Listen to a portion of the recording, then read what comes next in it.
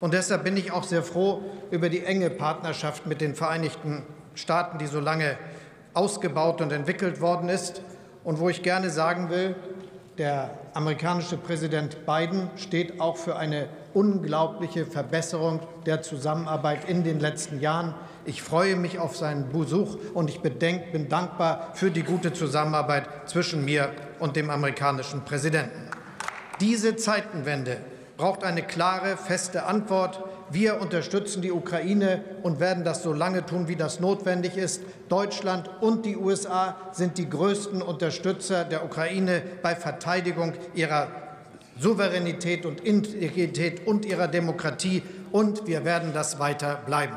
Und deshalb ist es auch richtig, dass, wenn gefragt wird, werden wir auch mit dem russischen Präsidenten sprechen, wir sagen, ja, auch das ist der Fall weil wir klare Prinzipien haben. Und diese Prinzipien lauten, es wird niemals Entscheidungen geben über die Köpfe der Ukraine hinweg und niemals ohne Abstimmung mit unseren engsten Partnern.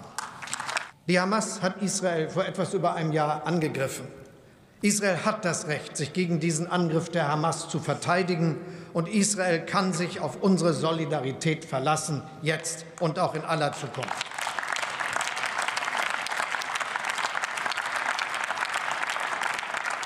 Ja, wir haben immer gesagt, dass es auch Dinge gibt, die klar sein müssen. Zum Beispiel, was humanitäre Hilfe betrifft, die nach Gaza gelangt.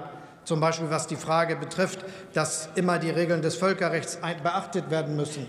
Zum Beispiel, was die Frage betrifft, dass es eine Perspektive geben muss, die am Ende zu einer Zwei-Staaten-Lösung führen kann. Aber die Solidarität bedeutet in diesem Fall immer auch, dass wir Israel in die Lage versetzen und in der Lage halten, sein eigenes Land zu verteidigen.